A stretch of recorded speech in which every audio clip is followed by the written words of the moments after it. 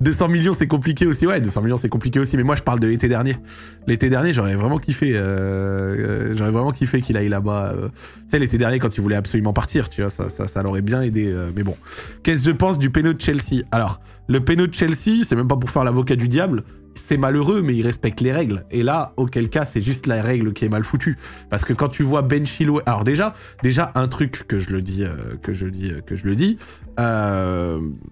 Il y a un problème dans, dans, dans, dans, dans les règles des penalties, c'est que les penalties favorisent beaucoup trop l'attaque.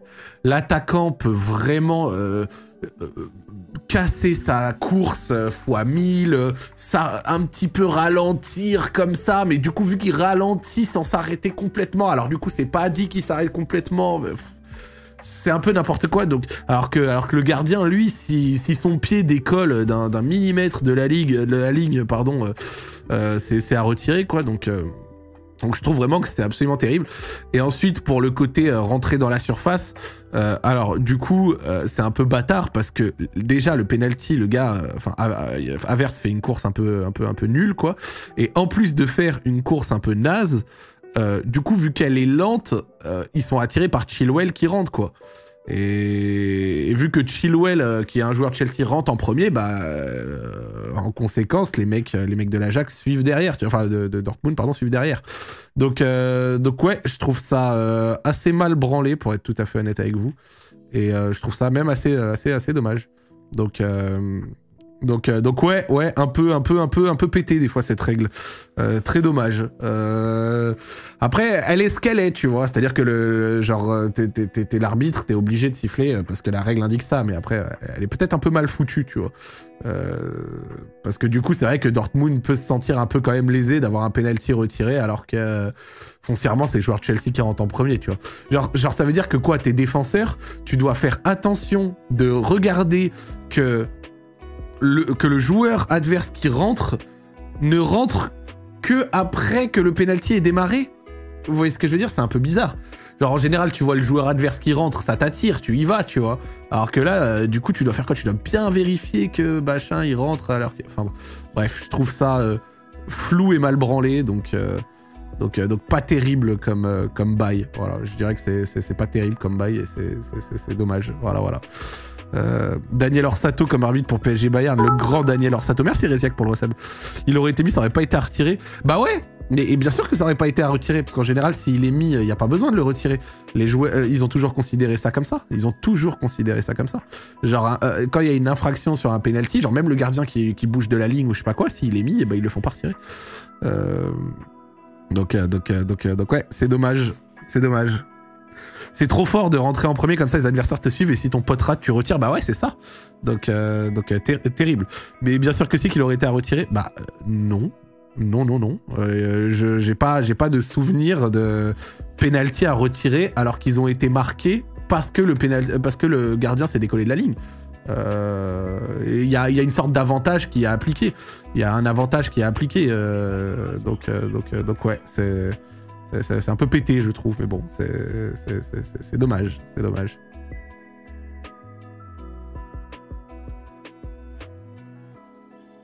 Hop. Merci euh, Enrovitch pour le Prime, merci euh, Monsieur Théolosk pour l'abonnement. Mais euh, en vrai, je pense que si, sinon ce serait beaucoup plus fait. Mais de quoi beaucoup plus fait? Parce qu'en fait, le gardien ne peut pas se faire de calcul en mode euh, je vais décoller le pied de la ligne pour parce que c'est-à-dire s'il le rate, euh, enfin s'il l'arrête, bah dans ce cas ça sera annulé. Il n'y a pas d'intérêt pour le gardien de le faire, tu vois ce que je veux dire? Alors que si le gardien décolle un peu les pieds et que le penalty est marqué, bah le penalty est accepté. Genre il y a une sorte d'avantage qui est mis. Je sais qu'il y a un avantage qui est calé sur ça. Je, le sais, je le sais. Euh, ce serait trop absurde de retirer dans ces conditions. Alors attends, on va voir. Empiètement d'un joueur en attaque. But à retirer, pas but, coup franc indirect. Ok. Euh, empiètement d'un joueur en défense, but. Donc euh, voilà, à retirer. Donc voilà, donc regardez, là, là on est quand même sur un bail. Euh, on est quand même sur un bail où à retirer, c'est ce qui a fait de, Chilwell, là, je pense. Empiètement d'un joueur en défense et d'un joueur en attaque. Donc là, à retirer, à retirer dans les deux cas. Infraction du gardien de but. Voilà, donc littéralement, regardez. infraction du gardien de but, but, but. Donc, donc voilà pas arrêté, pas à retirer, arrêté, pénalty à retirer, plus mise en garde. Infraction simultanée du gardien et du tireur. Coup franc indirect plus avertissement, ça on le voit rarement quand même. Ballon botté vers l'arrière, bon voilà. Feinte illégale, mauvais tireur. C'est-à-dire mauvais tireur.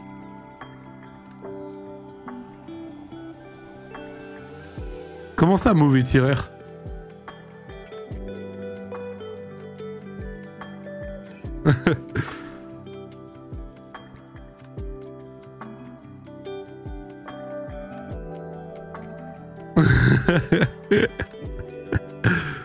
Ce serait trop drôle, mauvais tireur, genre, euh, genre, euh, genre, y a un autre gars qui sort de la surface et, qui va tirer en surprise, genre, ce serait, ce trop drôle.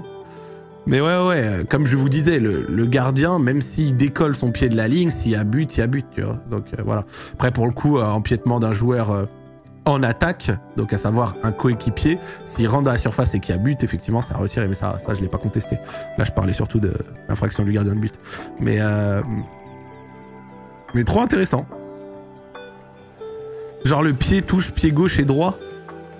Je crois que c'est autre chose, ça, non? C'est pas le truc de la CDM.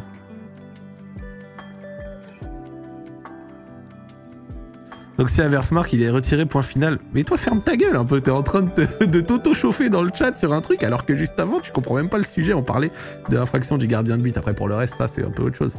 Euh, pour le coup, oui, avec le joueur en attaque, des fois. Après, franchement, pour le coup, c'est pas toujours appliqué si on a envie d'être parfaitement honnête. Genre, de temps en temps, c'est vrai qu'on voit des joueurs, enfin des coéquipiers rentrer, euh, et vu qu'il y a but, ils le font pas retirer. Genre, c'est pas rare en réalité. Euh, c'est pas rare de pas voir le truc à retirer alors qu'un coéquipier est rentré quand même. Après, c'est déjà arrivé aussi, j'ai des exemples en tête. Mais euh, moi, j'étais encore sur le bail euh, du, pied, sur la ligne. Par contre, après, j'ai bien envie de checker. j'ai bien envie de rechecker le. le comment s'appelle le bail là J'ai bien envie de rechecker le. La course. La course des Landes.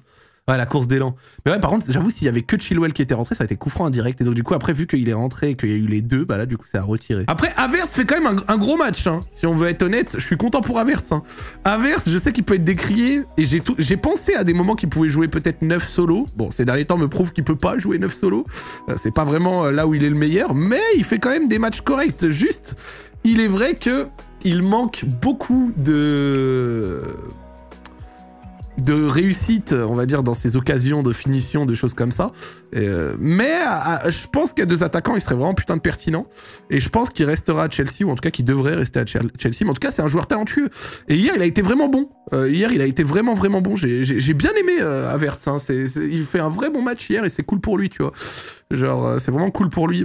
En 2021, il avait des moments où il était en forme et tout. Et puis après, derrière, il a eu des hauts, des bas. Mais ces derniers temps, il est plutôt bon, tu vois, donc euh, donc c'est plutôt bien. Avertz, Félix derrière un attaquant, c'est le poulet. Ouais, mais avec euh, Nkunku qui vient, ça, arrive d'être euh, commencer à être beaucoup quoi tu vois. Mais ouais Avert c'est pas complètement un joueur de merde. Même euh, son but refusé là est exceptionnel tu vois.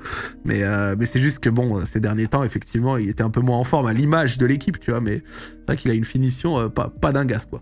Je comprends pas que Mudrik ne joue pas. Bah Mudrik jouait ces derniers temps. C'est juste que là pour le coup il a préféré Sterling et c'est pas vraiment étonnant. Mudrik a besoin de temps d'intégration. Sterling est quelqu'un qui est déjà prêt à jouer. Bon pas, pas trop étonnant. Après, tu me diras, Mudrik n'est pas rentré contre Leeds non plus, mais bon, c'est le temps de, de se mettre en jambe, on va dire. Voilà. De, rentrer. Par contre, c'est vrai que c'est dommage que Julian Brandt soit sorti euh, blessé au bout de 4 minutes, parce que ça, ça a quand même un peu... Euh, ça a quand même un peu coûté à mes amis de Dortmund. Mais après, pour le coup, euh, Dortmund n'a pas été dangereux du tout hier soir et même relativement assez décevant. Mais à la fin, franchement, ils étaient loqués complets. Genre Chelsea, la défense à la fin, déjà Rhys James fait un travail de fou.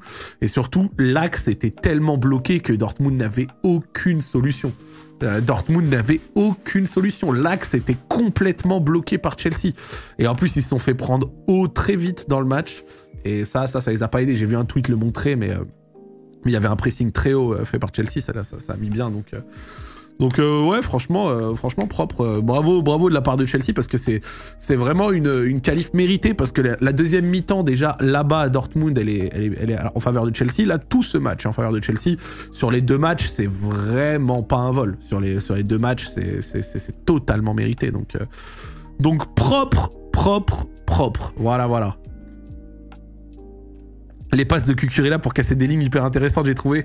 Ouais, Cucurella qui, a été l'homme du match, en plus, si je dis pas de bêtises. Cucurella fait un bon match. Hein. Après, Cucurella, là, il re-respire depuis qu'il est plus dans une défense à 4 et depuis qu'ils sont repassés à 3 derrière. Même le passage à 3 derrière, il a fait du bien à Koulibaly. Euh, Koulibaly qui était euh, pas ouf depuis le début de saison, mais là, Koulibaly qui a même retrouvé des passes intéressantes.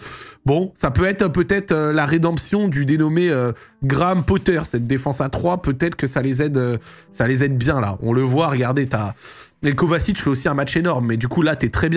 T'as Chilwell, euh, euh, Chilwell dans une bonne disposition, euh, t'as Cucurella dans une défense à 3 un peu comme ça qui peut être bien et qui à des moments peut même switcher piston, t'as Rhys James qui est bon, t'as la base à 3 fait du bien à Koulibaly, t'as Fofana, t'as les deux milieux qui sont vraiment bien, t'as Sterling en forme et après derrière t'as Verts aussi, bon, Joao Félix, voilà, bref, c'est un peu, particulier, mais là, c'était...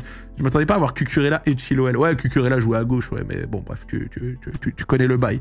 Mais euh, ouais, bien joué. Et match très décevant de, Dortmund, même de Bellingham, j'ai trouvé.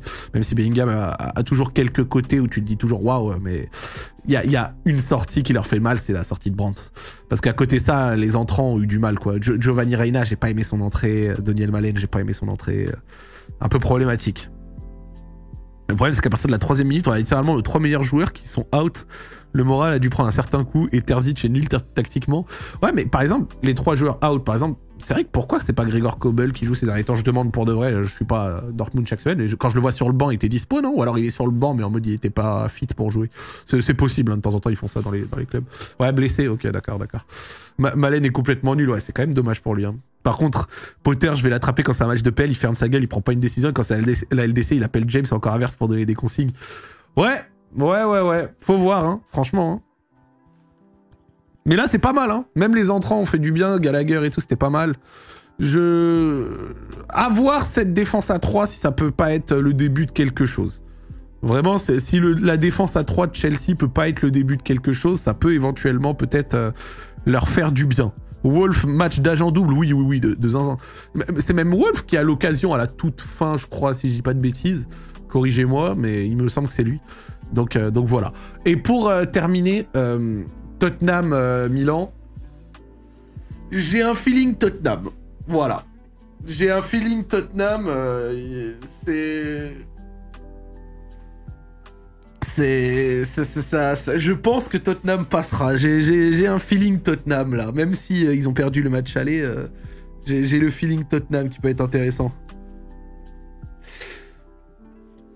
C'est des rats donc possibles de fou. Enzo Kanté au milieu, ça va être la folie, Zach. Enzo Kanté, mais Enzo Kanté, Kovacic aussi. Hein. Parce que, attends, on va pas, on va pas quand même euh, sous-côté le match de Matteo Kovacic ce soir. Hein. Enfin, hier soir, pardon. Le match de, Kovacic était énorme était énorme.